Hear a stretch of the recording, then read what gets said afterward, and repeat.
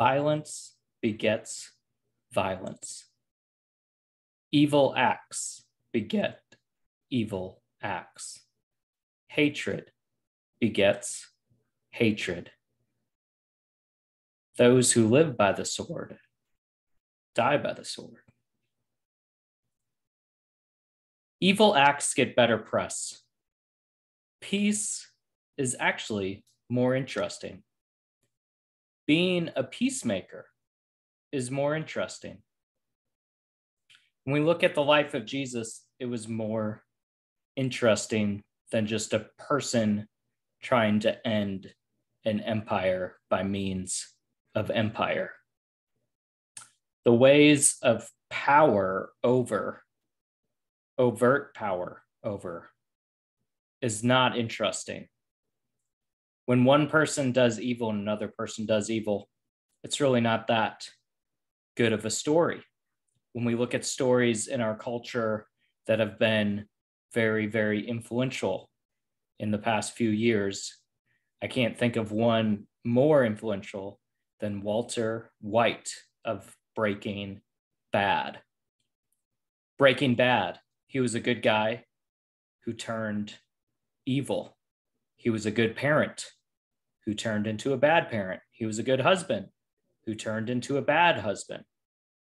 He wasn't simply a man who was evil who became evil, because that's not interesting. What Jesus did is more interesting. Peace is actually more difficult than war. War is simple, you fight to the death. Peace, you also fight to the death, but it's much more interesting because it's a death of sacrifice. It's a death of hard work and pain and suffering and hope. It's a mother who gives birth to a child not because of the pain, but because of the joy. It's a person who's running the good race, not because of the endurance and pain and suffering of mile 22, but because of the joy that comes at mile 26.2. That's what is interesting. When I look at the evil done in the past week, yet another shooting, yet another school shooting, yet another shooting with innocent elementary kids being slaughtered and killed and murdered. Kids killing kids. Kids buying guns, thinking that they're toys, but knowing that they are not. So there's lots of violence that is just not that interesting. And when I think about the past week, um, I can't help but be lamenting and mourning and grieving and angry and sad, um, overwhelmed, frustrated. But I don't think that me being angry and telling you that I'm angry and making a podcast and posting on social media and promoting my friend's book who survived a school shooting. I don't really know if any of that does any good. But I'm going to keep doing it. And I think the other thing is it's motivated me to try to do something, whether it's um, supporting financially, um, some more um, not more, but different laws, I guess, not necessarily more laws, but different laws. Um, diving into, you know, maybe other people's viewpoints. You know, what is the Second Amendment for? What is the Second Amendment about originally?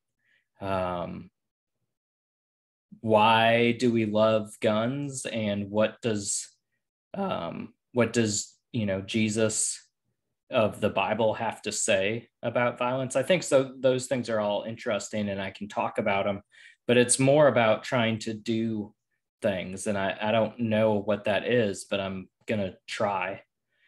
Um, I think that there's war and peace in all of us. I think there's hatred and uh, love in all of us.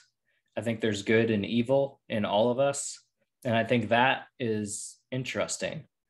But um, this idea that we can fight violence with violence is just not that interesting. And I don't think it's ever served anyone. And so when I um, think about what I can do, um, I think I'm a little bit overwhelmed and a little bit apathetic and a little bit, um, yeah, I think apathy.